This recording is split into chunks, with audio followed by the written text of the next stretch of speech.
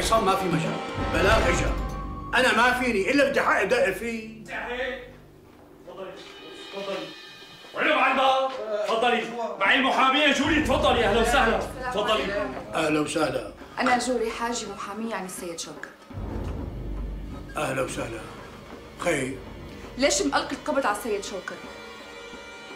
والله يا خانم في بلاغ من صهره سمعه قال السيد أبو عصام ما عم يخلي بنته تروح على بيتها. أيوه. وأنت صدقته للسيد سمعه؟ لحظة شوي خالتي. يعني أنت محتجز أبو عصام مشان البلاغ ما هيك؟ تمام يا خانم شو هالبلاغ طيب أنت استدعيت السيدة دلال وسمعت إفادتها وتأكدت إنه هذا الشيء صحيح؟ ولا هاد كان هون اللي خلفك؟ عفوا. لو سمحت يا خانم استاذي إذا بتريدي. نحن مو من عوايدنا نستدعي النسوان لهون على الكركو ما بتستدعي النسوان على عيني وراسي.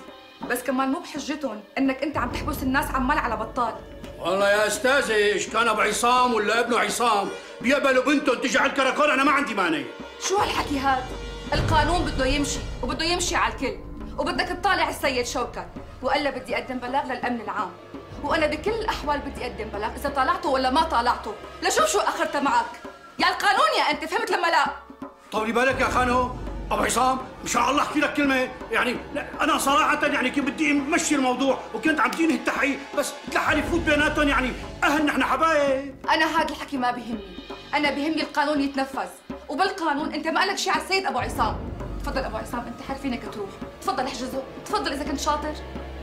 آه، أبو عصام إن شاء الله أحكي لك كلمة مع الخانم. ما بدها تبلينا.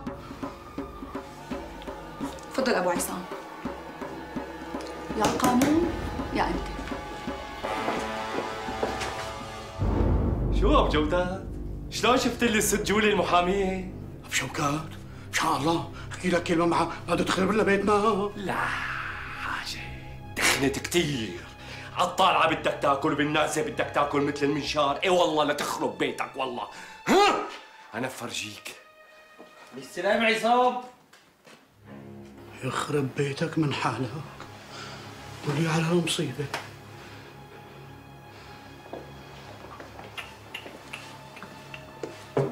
روق بجودة روق روق إيش بدك تسوي؟ هي حرمة قوية والله بتبهدلك. تمسح فيك الأرض بتنقلك من هون. بتطيرك مخافي ما خلاص طب لك قصدي أنت كمان لا لا